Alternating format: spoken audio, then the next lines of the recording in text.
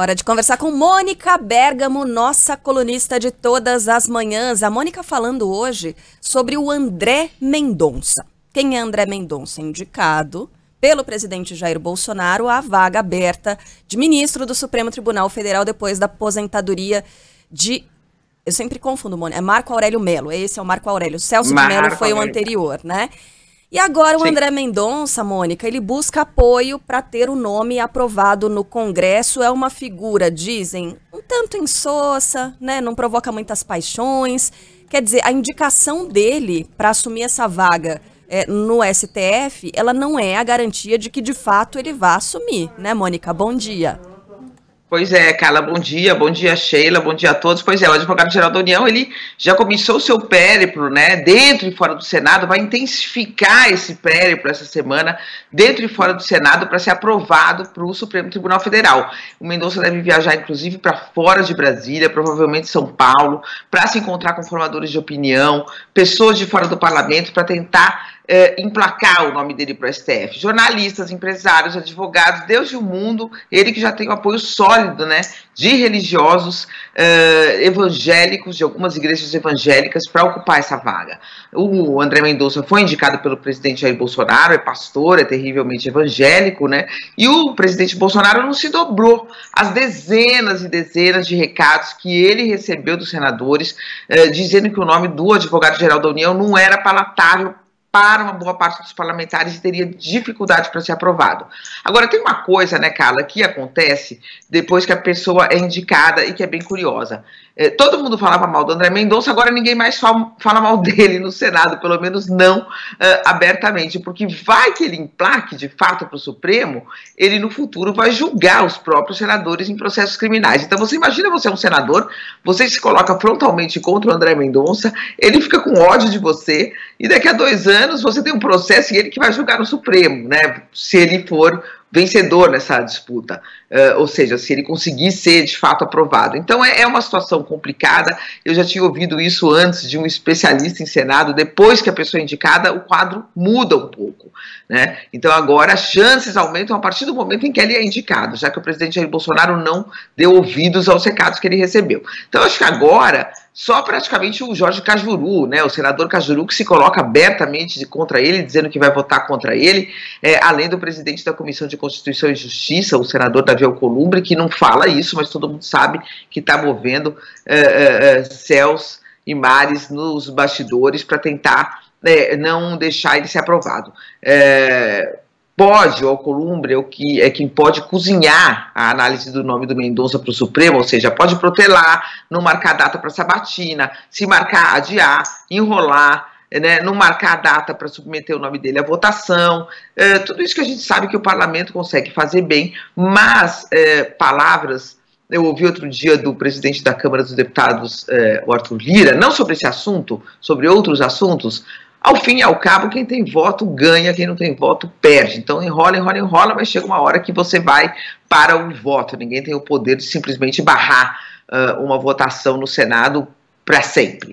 Uh, então, o que ele está agora é nesse intervalo que ele está do recesso e vai, vai, vai passar um pouco por, por um vai ser cozinhado aí, está tentando angariar esses apoios, deve fazer inclusive viagens para fora de Brasília, buscando é, parlamentares que estão fora de Brasília, inclusive, também buscando votos, buscando apoios, né? A tendência até agora, segundo eu apurei, é essa, é enrolar para ver se ele vai conseguir ou não reunir os votos necessários é, para ser aprovado, Carla. Até agora, é, mais ou menos entre 25 e 26 senadores estão declarando voto aberto nele, segundo levantamentos de, da imprensa, levantamentos de senadores, tabelas feitas por parlamentares. É mais ou menos isso que ele tem. Ele precisa de mais, portanto, 14, 15 votos aí, num total de 80, ele precisa buscar mais 15. Carla. Eu vou citar aqui a cola colocada pelo Pablo Fernandes para gente, com dados do jornal Estado de São Paulo.